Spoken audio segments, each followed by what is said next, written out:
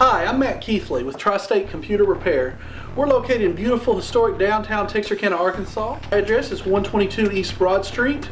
We're catty corner from TLC Burgers and Fries, another beautiful historic downtown Texarkana, Arkansas establishment. We fix, of course, laptops, desktops. We fix Apple computers. We fix game systems, video game systems, Wii's, PlayStations, Xboxes.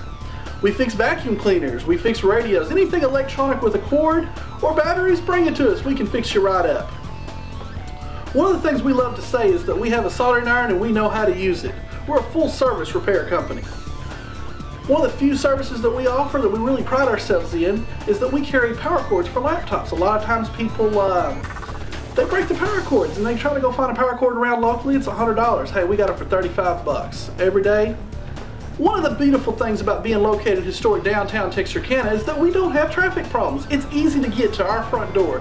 You can park right up front, come right on in our door, no hassle, no mess, no wait. Love being down here with this beautiful architecture, nice environment, bringing and revitalizing downtown Texarkana. So come support downtown Texarkana and support Tri-State Computer Repair.